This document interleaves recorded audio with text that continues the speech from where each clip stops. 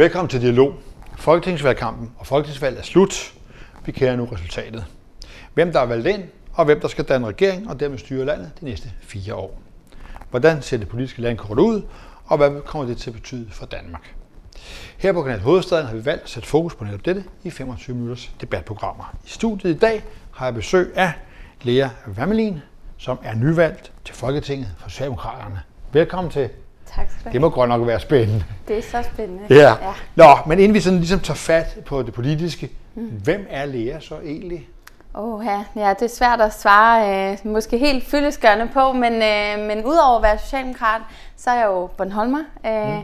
og er jo også valgt på Bornholm, så det fylder selvfølgelig rigtig meget for mig i mit politiske arbejde. Og så er jeg også mor til en pige, som snart bliver fire år, så det fylder selvfølgelig også meget, det der med den travle hverdag i en børnefamilie, øh, med at skulle få det hele til at gå op, og det er jo i hvert fald nogle af de erfaringer, jeg tænker, jeg tager med mig ind på Christiansborg. Så, så man kan sige, at du kommer til at sidde i en flyvemaskine frem og tilbage 20-25 minutter rigtig ma- langt mange gange. Det tror jeg, øh, det tror jeg helt bestemt. Godt, til gang. Nu, uh, du har sikkert ført en fantastisk valgkamp på Bornholm. Mm. Hvordan, hvordan, hvordan oplever man valgkampen på Bornholm? Altså, nu har jeg været med til en del valgkamp før i Socialdemokratiet, men det er jo første gang, jeg stiller op til noget og mm. har mit eget øh, ansigt på plakaten. Og det er jo anderledes, fordi der er jo selvfølgelig mange andre ting, man skal. Men jeg synes faktisk, vi havde en rigtig god valgkamp på, øh, på Bornholm, hvor at vi jo primært øh, faktisk diskuterede politik, og det synes jeg sådan set var ret øh, positivt. Knap så meget personer, rigtig meget indhold.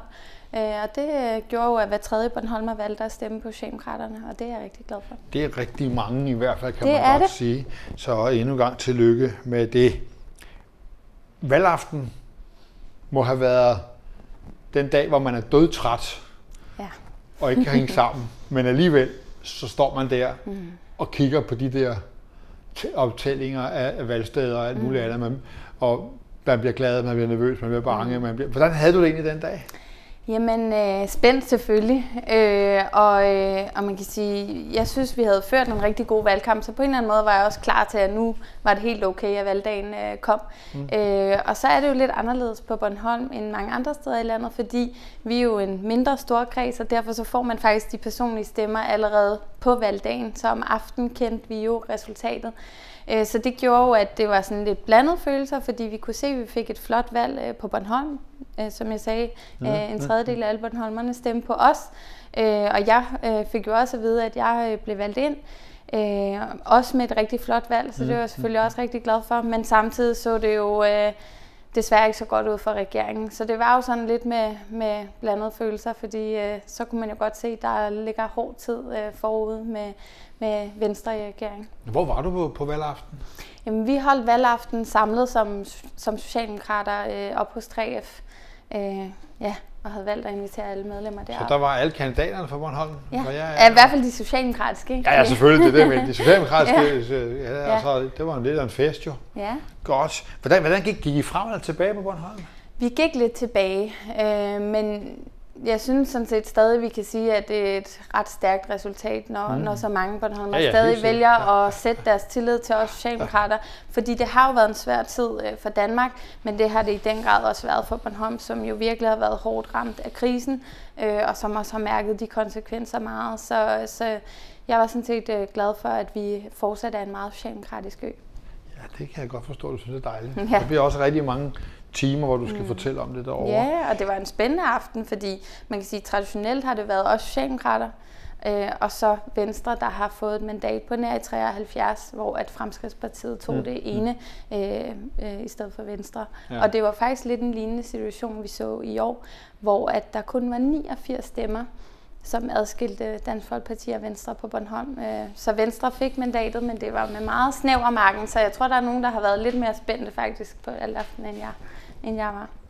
Men stort tillykke til Store Bornholmske valg, og øh, den tredje del af stemmerne, det må sige så være rigtig flot. Man kan også sige, at Bornholm er sådan et lille sted, altså man kender, altså rigtig mange, mm. altså alle kender næsten alle derovre, ikke? Det er noget med, man 50.000 om vinteren og en halv million om sommeren, ikke?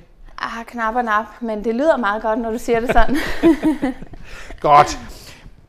Så lige om lidt, så starter øh, arbejdet mm. på, på, øh, ja. på, på borgen. Og du er egentlig nyvalgt, så du kommer mm. nok som udgangspunkt til at sidde lidt nede bagved og, og kigge lidt på, hvad der foregår. Hvad for, nogle, hvad for nogle store ting kommer du til at tage med øh, ind på, på, på, på Christiansborg og til gruppemøderne mm. og sådan noget. Det er klart, som Bornholmer, så er noget af det, som fylder rigtig meget for mig, og noget af det, som jeg faktisk også har brugt meget min tid på at diskutere i valgkampen, det er spørgsmålet om en stærkere regionalpolitik.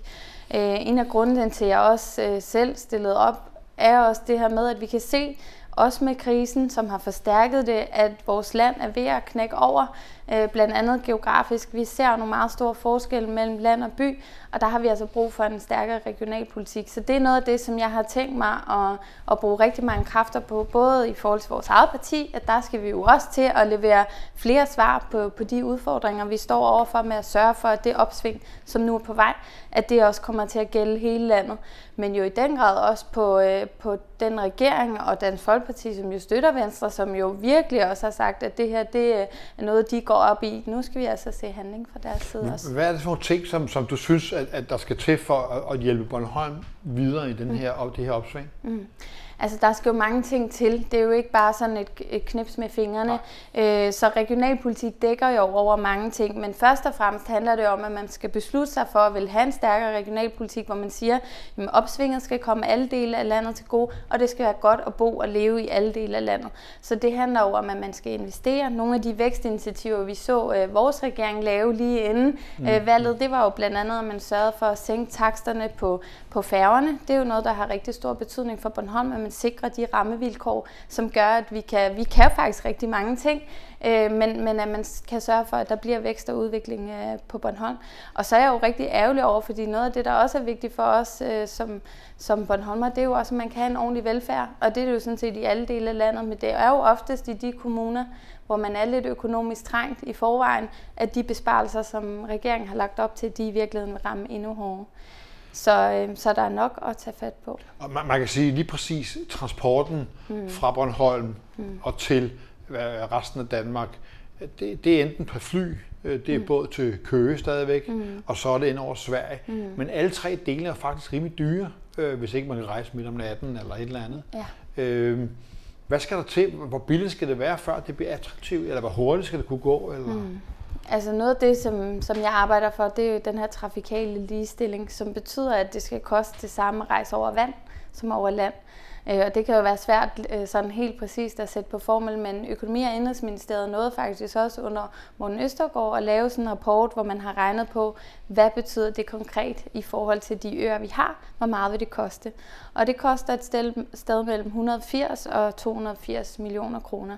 Øh, og det synes jeg egentlig ikke er en særlig høj pris at betale for, at vi sikrer, at man, uanset hvor man bor i landet, har nogle ordentlige og rimelige øh, transportvilkår. Og der tog man jo faktisk et skridt i den rigtige retning øh, under vores tidligere regering. Øh, og der håber jeg nu, at vi øh, kan komme hele vejen. Det er i hvert fald noget af det, jeg vil arbejde for. Og det man kan sige lige præcis, det der tal, det hænger om, det, det ligner jo lidt det, som Dansk Folkeparti har lovet Danmarks befolkning. Bortset fra, at de lover milliarder, det er det så millioner. Ja, det så må ikke der et eller andet sted, der det kan burde bruge, være lettere at komme det burde, igennem. Det burde være lidt nemmere at finde ja. nogle penge ja. i, i den øh, sammenhæng. Mm. Men som du selv siger, så er det uvalgt på Bornholm. Hvad er, det for, hvad er der særligt ved dig som Bornholmer, eller hvad er der særligt ved Bornholmer, der nu kommer ind og skal øh, påvirke Folketinget? Jamen, jeg er jo født og opvokset på Bornholm, og det gør jo i hvert fald, at jeg kender vores udfordringer, øh, men jo i virkeligheden også vores muligheder, fordi øh, jeg tror noget af det, som jeg synes, vi allerede er blevet bedre til i forhold til at få regionalpolitikken på den politiske dagsorden, det har jo fyldt faktisk ret meget her i valgkampen. Øh, alle partier har skulle forholde sig til det, og partilederne har også øh, forholdt sig til det. Vi skal sørge for, at den regionalpolitik øh, fortsat bliver på den politiske dagsorden.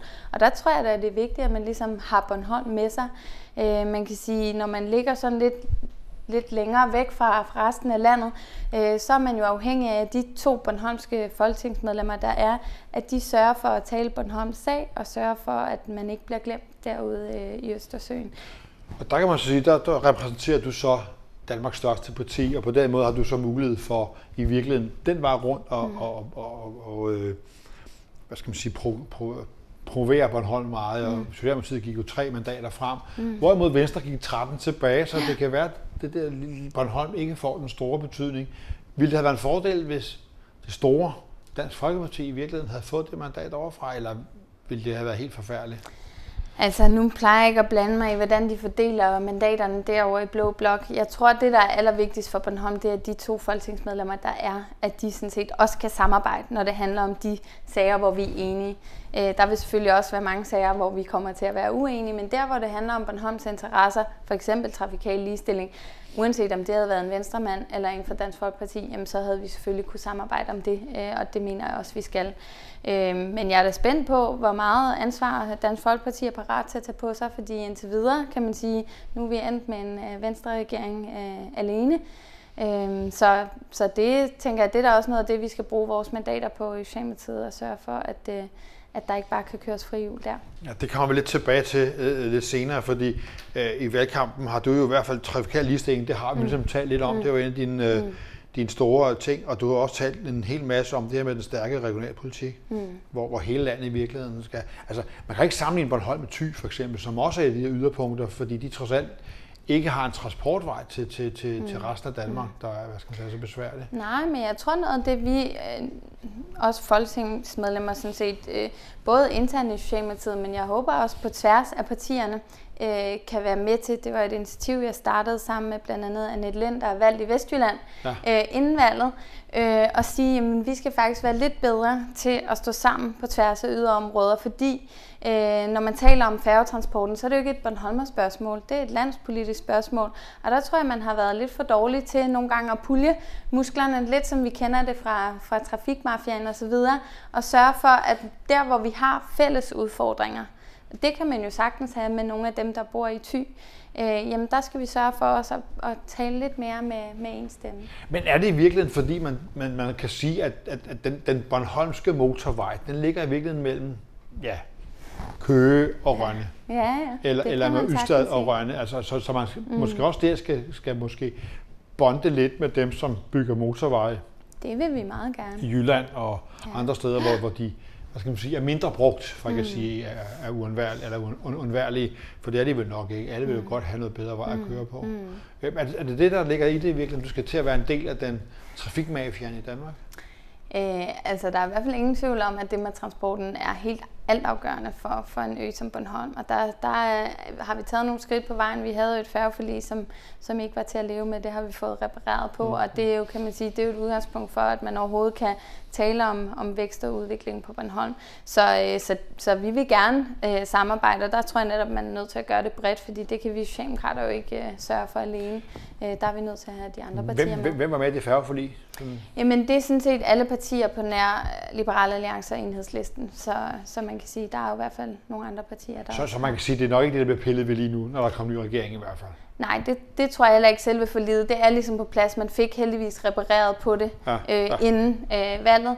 Øhm, men derfor kan man jo sagtens, kan man sige, gå videre af den vej omkring trafikal ligestilling og sørge for, at priserne bliver lavere. Hmm. Du har talt rigtig meget om social dumping, eller rettere sagt bekæmpelse af det. Mm. Hvorfor er det, at det er så vigtigt, og måske da, hvorfor er det så vigtigt specielt på Bornholm? Jamen, jeg tror, udover, øh, som vi startede med at tale om det her med, at vi kan se, at vores land bliver skævbredet, det gør det mellem land og by, men det gør det i virkeligheden også på arbejdsmarkedet, og det er jo noget af det, der fylder også meget for os socialdemokrater, man selvfølgelig skal, skal kunne have øh, et ordentligt øh, arbejde, hvor man får en løn, man kan leve af, og hvor der også er et ordentligt arbejdsmiljø. Og der kan vi i hvert fald se, øh, også med krisen, men også jo med globaliseringen, at det også presser vores arbejdsmarked. Øh, og det også betyder, at der netop er social øh, dumping øh, lidt for mange steder i Danmark. Og man kan sige, at vores tidligere regering tog jo virkelig fat på det øh, og gik meget mere aktivt ind i den kamp og sagde, at selvfølgelig skal man arbejde på ordentlige løn- og arbejdsvilkår her i Danmark. Øh, og det er noget af det, som jeg tror er rigtig vigtigt, at vi fortsætter med i fremtiden. Det er jo vigtigt for for en ø som, som Bornholm også. Øh, og man kan sige, når man, hvis man skal brede det lidt ud, så handler det jo også om, at vi skal sørge for, at det ikke er bunden af arbejdsmarkedet, eller dem, der er ufaglærte, som betaler prisen for øh, det der globaliserede arbejdsmarked. Og der tror jeg, der har vi både en opgave i forhold til at tage kampen mod social dumping, men vi har sådan set også en opgave i at sørge for, at de, øh, dem, der ikke har fået så meget uddannelse med på vejen, at de også får nogle bedre muligheder for at opkvalificere sig. Men du taler Lykke jo meget om det, der skal kunne tage sig arbejde. Mm. Øhm, han taler meget om, at vi faktisk er for dyre i Danmark. Mm. Er det så ikke det, der i virkeligheden spiller lidt imod det her med social dumping? For social dumping er i virkeligheden at folk får mindre løn, end det man umiddelbart kan aftale mm. i Danmark. Er det ikke den danske model, Lykke vil begynde at pille ved det i virkeligheden? Det er i hvert fald et af de steder, hvor Rød Blok og Blå Blok er, er meget uenige, må man sige. Også den, en af de skillelinjer, der har været ved det her valg, fordi jeg mener ikke, at, øh, at Blå Blok har ret, når de siger, at det ikke kan betale sig at arbejde. Det kan det allerede i dag. Øh, man får både den økonomiske gevinst ud af det, øh, og så er der jo også øh, alt det andet, der følger med, når man har et arbejde, at man kan forsørge sin familie, og at man øh, har noget at stå op til. Så jeg, jeg tror simpelthen ikke på den der hets, som jeg synes, de borgerlige faktisk øh, øh, gør lidt for meget ud af i forhold til, til de ledige. Og man kan jo godt blive lidt bekymret, når det så er ja, den tidligere direktør for Dansk Arbejdsgiverforening, der nu skal stå i spidsen for, for Beskæftigelsesministeriet. Ja, måske både og. Øh, fordi han har jo en fordel i hvert fald. Mm. øhm, og det er, at han ved noget om området. Mm. Hvor man kan sige, at hvis man vandt en minister, der ikke vidste noget om området, så havde måske en, man ville have meget tunge forhandlinger med. Og det er jo det, som, som den nye regering så mm. Mm. Jo, det kan har man, lagt op til. Ja. Det kan man jo i hvert fald håbe, at, at, at det han tager med, det er, at han, kan man sige, er en stærk fortaler for den danske model, men, men der hvor bekymringen kan ligge, det er jo noget af det, han har været ude at sige omkring, at man, at man skal skære markant på, øh, på de offentlige, på de offentlige ydelser. Øh, og vi ved jo, at Venstre gerne vil have det der moderne kontanthjælpsloft, selvom de endnu ikke har løftet sløret for, hvordan det skal se ud. Nej, fordi, fordi det øh, Lykke jo gik til valg på, det var nul vækst. Mm.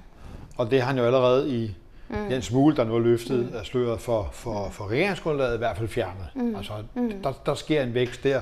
Og man kan vel også sige, at en mand, der er ansat et sted med nogle interesser, han skal sige noget, der passer deres interesser, mm Øh, det har vi jo også set fra Socialdemokraterne i virkeligheden, nogen der hopper lidt ud og laver noget andet, men, men, men han ved i hvert fald noget om det, han skulle tale om. Og nu mm. har Lykke jo indbudt til, øh, til trepartsforhandlinger, mm. Øh, hvor øh, LO og Dansk Arbejdsgiverforening og regeringen skal til at forhandle lidt om, hvordan det her skal foregå. Mm. Og Lykke har jo også sagt, at han vil gå ind for den danske model. Mm. Hvordan tror du, det kommer til at gå?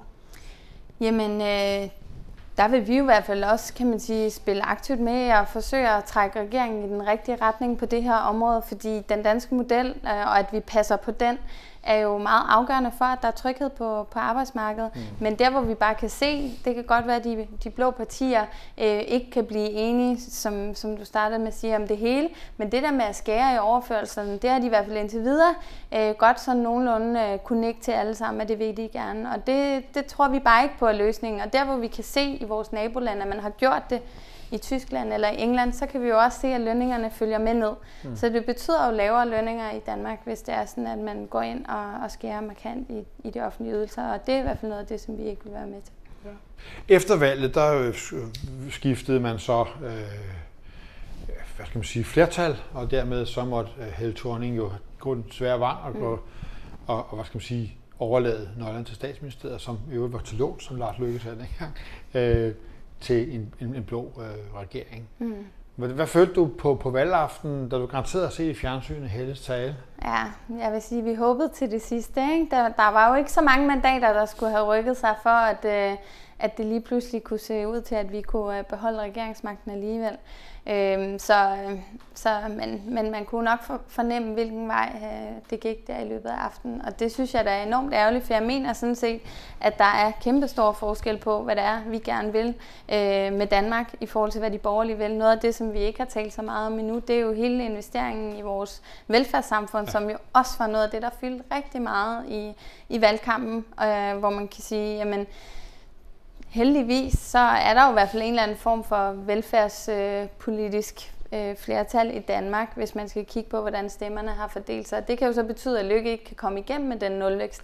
Men hvis man kigger på det regeringsgrundlag, de har lagt frem, og det de gerne vil, så ligger det jo allerede op til, at kommunerne skal spare 2,5 milliard øh, næste år. Og det er jo noget af det, som øh, i den grad kan mærkes øh, for folk, som de fleste, kan man sige, på den nære velfærd. Øh, i forhold til vores daginstitutioner og vores børn. Og Men det er rigtigt, og det, det, det der er spændende er jo sådan set, som du selv siger, at, at mm. flertallet i Folketinget, også efter valget, med Dansk Folkeparti selvfølgelig, mm. ikke går ind for nulvækst og netop en udvidelse af den offentlige sektor. Øh, og, og man kan sige, hvorfor må han endte med en smal regering? Hvorfor endte mm. det med, at, hvorfor tror du det endte med, at, at, øh, at, at Dansk Folkeparti valgte ikke at komme med i regeringen? Og det er jo svært at, at svare på, men jeg synes da, at man kan undre sig over i hvert fald, når så mange danskere vælger at give deres tillid til, til Dansk Folkeparti, at de så ikke tør påtage sig det ansvar. Øh, det synes jeg, at de skulle have gjort, øh, fordi de er jo med til at pege på Lars Løkke og sige, at det er ham, de gerne vil have som statsminister. Så må de jo også øh, kan man sige, være enige med ham på, på lange stræk. Øh, og der synes jeg i hvert fald som socialdemokrat, der går vi jo ind for, at jamen, når så mange danskere øh, viser tillid, jamen, så har man også en forpligtelse til at gå i regering, og det havde vi jo selvfølgelig gjort, hvis vi havde haft et flertal bag Så de er gået flyverskul, kan man lidt sige her? Eller er gået de har i hvert fald eller? indtil videre ikke øh, vil tage det ansvar på sig, så må vi jo se, hvordan det kommer til at blive. Nu skal du snart til at i gang med det store arbejde mm-hmm. i, i Folketinget. Hvordan har du det egentlig med det? Jamen, det er jeg rigtig spændt på. Jeg glæder mig rigtig meget. Man kan sige, opgaven er jo ikke blevet mindre af, at der nu er kommet en borgerlig regering. Det gør sådan set bare, at vi jamen, allerede skal have smået ærmerne op nu og være i gang, både for at kæmpe for den socialdemokratiske politik og få den igennem. Det bliver jo kun sværere af, at øh, vi jo desværre har fået en borgerlig regering, men jo også i forhold til de bornholmske interesser. Øh, og nu starter vi jo øh, snart, kan man sige, både på det formelle arbejde, men jo ja. også, kan man sige, i forhold til, til gruppen. Vi skulle lige have valgt vores øh, formand ja. øh, først. Ja. Øhm, og, øh, og det glæder jeg mig sådan set rigtig meget til. Det tror jeg også øh, er noget af det, som, som bliver spændende for os, at nu skal Mette lede partiet, og, og det glæder jeg mig sådan set til. Jeg ved, der er en af de ting, som, som du skal gøre her i nærmeste fremtid, du mm. allerede har gjort det, det er, at du meget formelt skal op og skrive under på grundloven. Ja, det skal jeg, og om ikke så lang tid, om nogle dage, tror jeg. Ja, det må være et stort øjeblik. Det er det. Fordi det fortæller du sådan set, at du vil overholde den danske grundlov, ja. og alt, hvad der der følger. Det har jeg tænkt mig. Har du tænkt dig? Ja, det har jeg tænkt mig. Men det er da klart, øh, når så mange har stemt på en, så er det jo noget, der forpligter. Øh, og det er en stor tillid, så jeg har tænkt mig at knokle fra nu af. Hvordan har du tænkt dig at give lidt tilbage til, til dem, der har stemt på dig på Bornholm? Jamen, jeg tror, det er rigtig vigtigt, at man selvfølgelig arbejder for de ting, som man har sagt, man vil gøre. Og, og det øh, er jo, kan man sige, sværere, når man så er i opposition, øh, fordi at vi jo ikke nødvendigvis har den indflydelse, som, som vi ville have, hvis vi, vi var i regering. Men, øh, men det gør jo så bare, at øh, vi skal knokle endnu hårdere, og det er jeg sådan set klar på. Og så tror jeg også, det handler rigtig meget om, noget af det, der i hvert fald har været vigtigt for mig, det er også at sige, at når man er folketingsmedlem, så skal man også øh, være tilgængelig og være en, som folk kender. Og, og nu har vi jo folkemøde på Bornholm, som er så dejligt inspirerende, øh, og hvor man jo også tænker politik på lidt andre måder. Så jeg håber også, og det var jo faktisk også noget af det, som, som Mette Frederiksen sagde øh, i sin tale til, til kongressen, øh, og alle os partimedlemmer, at øh, nu skal vi udvikle vores parti, men også vores organisation, og tænke, hvordan, hvordan vi ligesom når ud øh, til folk, så de både føler, at vi lytter, men jo også kan være med til at, at påvirke politikudviklingen. Lea, jeg vil sige rigtig, rigtig meget held og lykke og god, god arbejdsløs. Jeg tror, det bliver noget med at svede rigtig meget og kæmpe rigtig meget for uh, idéer og idealer. Uh, tiden er gået. Øh, og det bliver rigtig spændende at følge specielt Leas arbejde i Folketinget her den næste stykke tid, maks 4 år. Jeg vil gerne sige tak til Lea Wernling, som er nyvalgt fra Socialdemokratiet til Folketinget. Og til seerne, tak for nu, og på gensyn på Kanal Hovedstaden.